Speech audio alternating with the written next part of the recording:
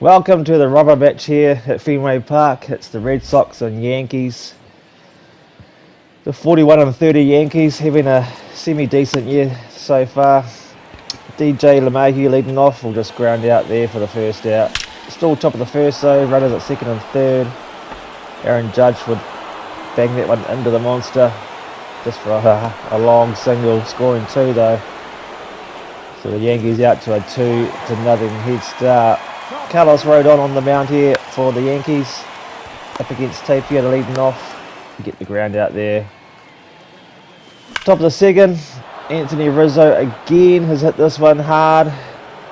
Has it good enough out there? It's to the track. Big leap. That's in the bullpen. That's a solo blast again. His 11th of the season.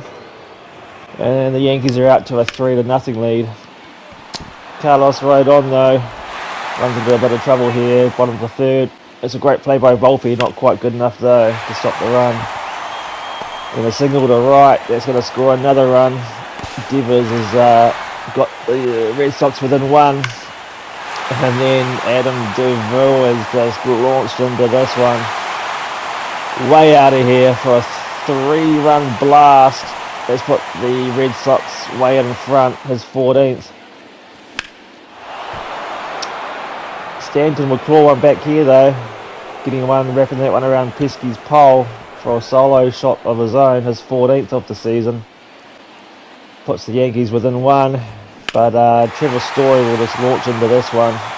This one's got no chance of staying in the yard. It's out on the road. That's a solo shot. His fourth. Red Sox six to four in the lead here. Top of the eighth. Aaron Judge would single with a centre, scoring a run. Pulls him to within one, six to five here. And Volpe will get struck out with a run at second, and the Red Sox would win the game six to five. They win the series as well.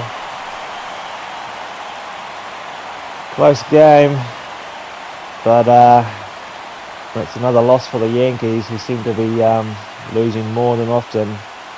Nine hits for both teams. Schreiber pick it up.